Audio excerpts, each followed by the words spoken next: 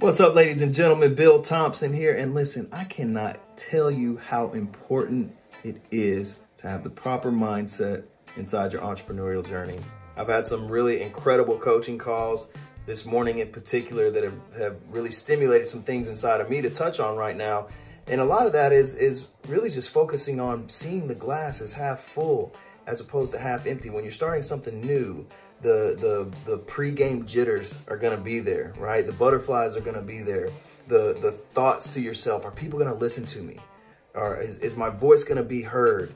You know, all of these things pop up and, and the nature of fear starts to kick in. The only time fear is going to be detrimental in your life is if you let fear run your life.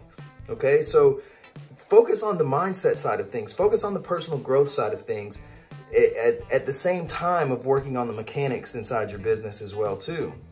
Mindset is going to be more important than any of that. I promise you. I promise you. So when you hit these walls and these barriers that that come as as an entrepreneur, you understand that that you do have the power and the strength within to get through them. Okay, so focus on the internal side of things, not always on the externals, not always on the shiny things that you see on the outsides and what you want to accomplish. Having those goals and aspirations to accomplish those those areas are, are extremely powerful, but but focus on self-mastery.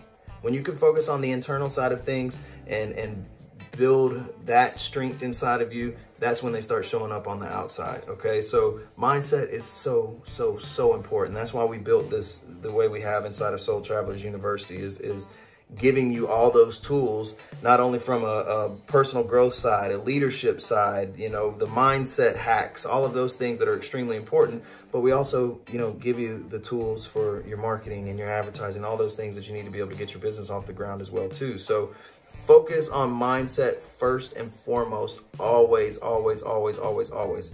That's the message I want to leave you with, okay? That's the soul snack for the day. Mindset over everything. All right, mind over matter. Sending nothing but love, good vibes, and blessings to each and every last one of you. And I'm out of here. One love.